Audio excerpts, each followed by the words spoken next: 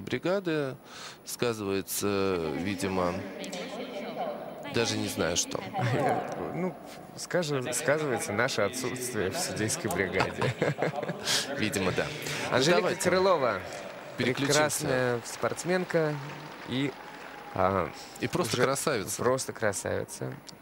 Очаровательная девушка. И на протяжении последних лет еще и реально э, работающая на ниве тренерства. То есть ищущие там результатов. И очень ее крепкая пара Мэдисон и Кифер Хаббела, которые, к сожалению, в коротком танце, ну реально, к сожалению, потому что мы за, э, За за то, чтобы сильный спортсмен сильно катался.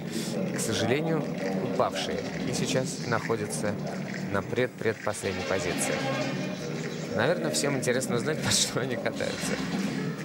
Очень длинный список музыкальных фрагментов, которые я перечислять не буду. Давайте обсудим его после танца.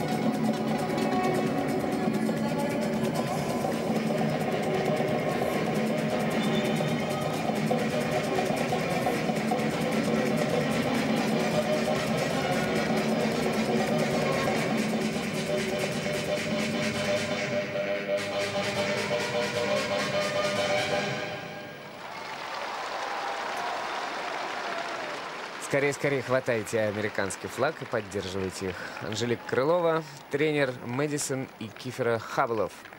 Американцы сегодня катались ну, это не обсуждается лучше, чем, чем вчера. Блестяще справились со своей э, программой э, Мэдисон и Кифер. И я считаю, что заслуживают они не просто подняться на одно место, а на несколько мест они должны подняться. Вы знаете, не могу не отметить э, фантастического партнера вот в этой паре, когда действительно танцевальный мужик, который по-мужски выражает и свое отношение к партнерше, и свое отношение к танцу. Э, просто вот всегда приятно смотреть на очень э, грамотно поставленные программы, в которых грамотно подчеркнута, подчеркнута мужественность партнера. Но в связи с тем, что вот они такая семейно сложившаяся пара, э, потому что они брат с сестрой, а, и у них, ну скажем так, нет выбора. А, ну, выбор всегда нет, ну, есть. Он есть, да, но они катаются давно и вместе, и, конечно, э, не хотят разбивать эту пару, но у них роста весовые соотношения, конечно, не в пользу партнера. Получается Безусловно, так, что она девушка ей есть. взрослая, э, фу, высокая. Высокая и нелегкая. И иногда видно, что ему, конечно, тяжеловато. При всем при том, что он, конечно, справляется, но на поддержке вот заключительной, она же Со сменой позы, смена хвата да. была поддержка, да, безусловно, ему было тяжеловато. Это прям было, бросилось, к сожалению, в глаза.